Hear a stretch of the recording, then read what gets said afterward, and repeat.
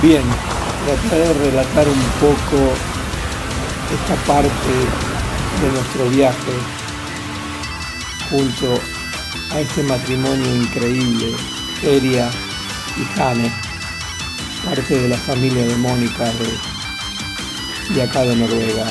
Ellos viven un poco alejado de Oslo, en esta zona que se llama Sandefjord y lograron comprar esta cabaña, que es una belleza como ustedes la ven, eh, donde hemos tenido la, la oportunidad de disfrutar.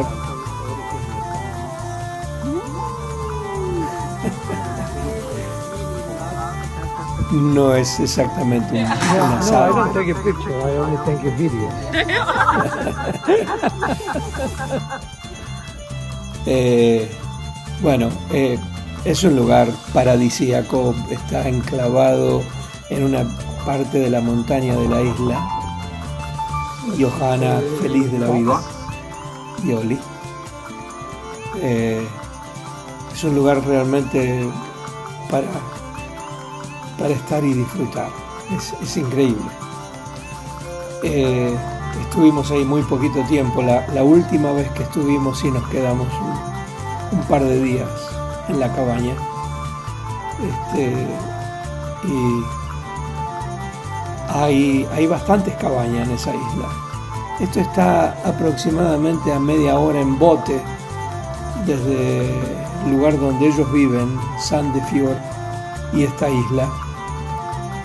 Y como pueden ver ahí, ah, se sale a mar abierto. Eh, y esto está muy cerquita, lindando con Suecia. Eh, una media hora más en bote y estás en la, en la zona de Suecia. Eh, pero como pueden ver, este, la naturaleza que tiene este lugar y el paisaje es indescriptible, ¿verdad? Las palabras sobran. Ellos viven ahí eh, gran parte del verano. Tienen hijos que muchas veces los vienen a visitar con los nietos y pasan ahí una temporadita donde te puedes tirar al agua.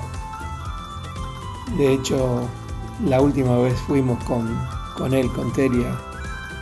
Ah, nos tiramos al agua ahí, nos bañamos. Es muy, todo es muy natural. La verdad que uno lo puede disfrutar realmente a pleno.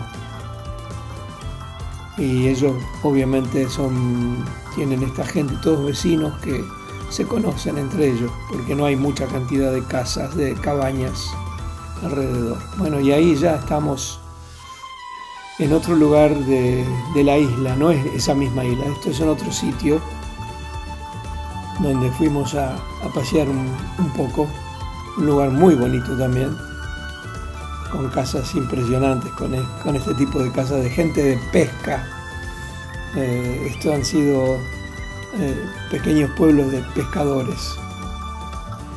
Y allí, ese día lluvioso, fuimos a, ahí, este, en esta parte de la altura. Bueno, acá chicos ya estamos emprendiendo el camino a Suecia.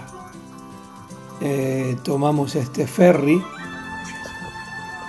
donde nos llevó en media hora estuvimos en Suecia.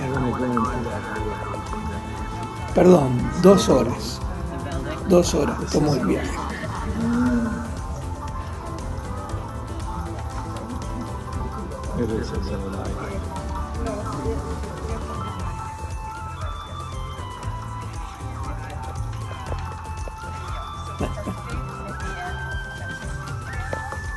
Y por supuesto, tenés para comprar, tenés todo el supermercado acá adentro. Sí, es increíble. Carguita Está todo accesible. Bueno, y un poquitito conmemorando lo del Titanic, ahí pueden darse un- una idea. Eh, de un lado está Suecia, del otro lado Noruega, y estábamos en esa parte de esa especie de, de bahía. Este es el auto que alquilamos.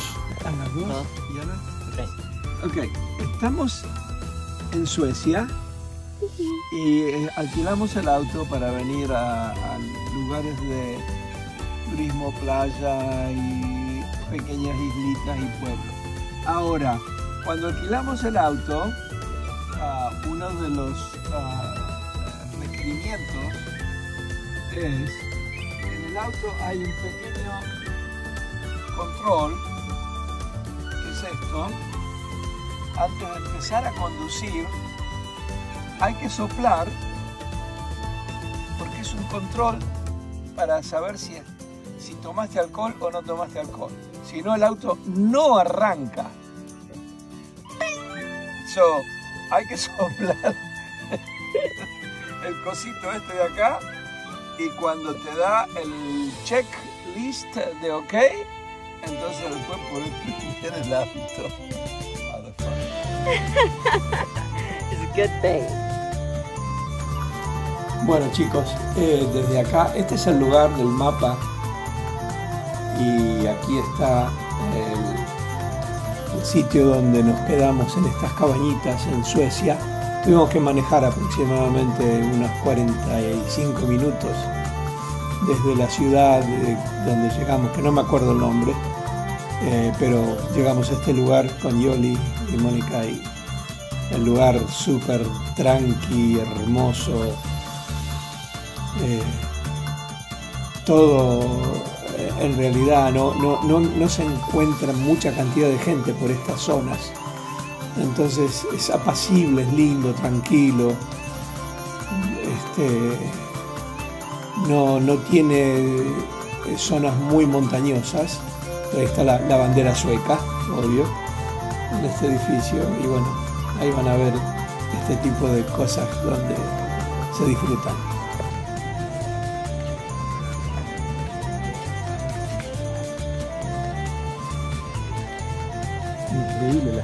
Mesitas chiquititas. ¡Qué vida!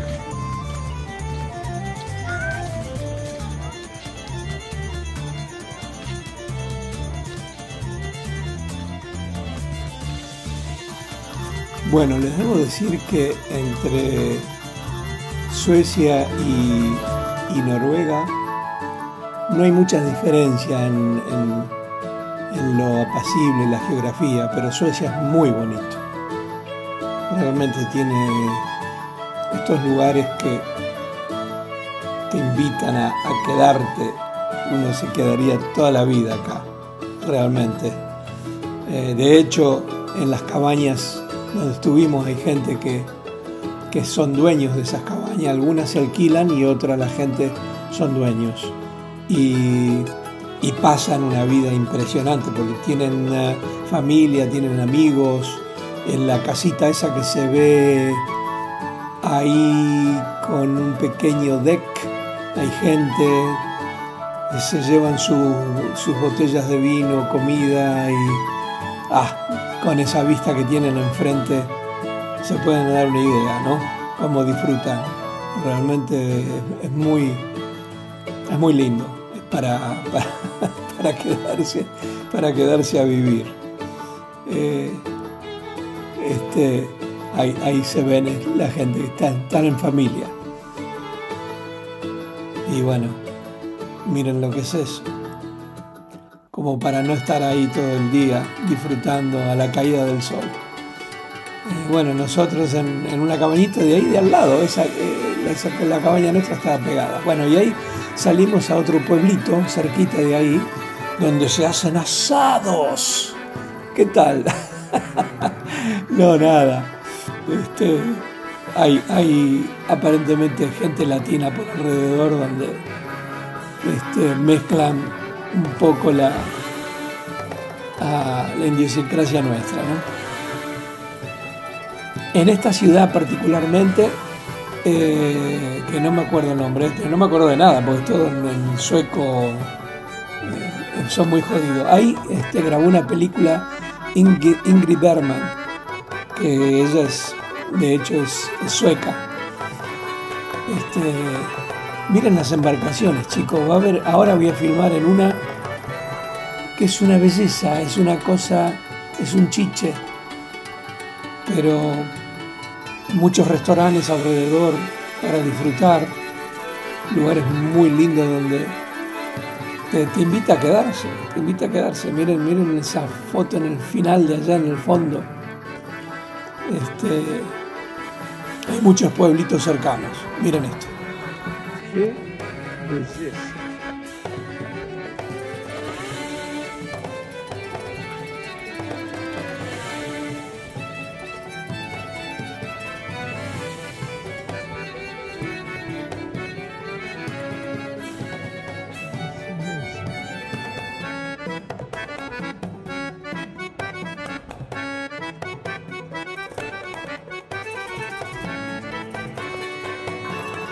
Las puestas de sol en este lugar realmente tienen una magia impresionante.